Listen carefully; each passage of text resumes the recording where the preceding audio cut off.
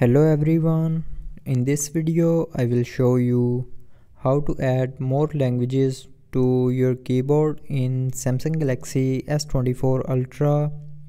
So before starting the video, don't forget to subscribe the channel and also press the bell icon. So first of all, open settings. Now in settings, scroll down and here click on general management. Now in general management click on samsung keyboard settings and then click on languages and types.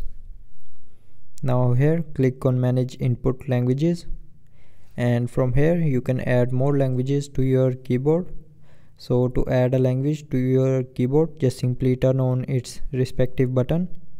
So if you want to add the bengali language to your keyboard then turn on its button and then the bengali language will be added to your keyboard. So to check it open the app in which you can use keyboard.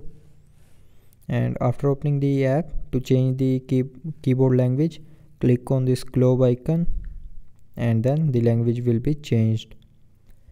So there are a lot of languages that you can add to your keyboard but if you don't find your language here then scroll down to the end and from here you can download more languages so there are a lot of languages so to download a language just simply click on the download button and then it will start downloading so that's how you can add more languages to your keyboard in Samsung Galaxy S24 Ultra.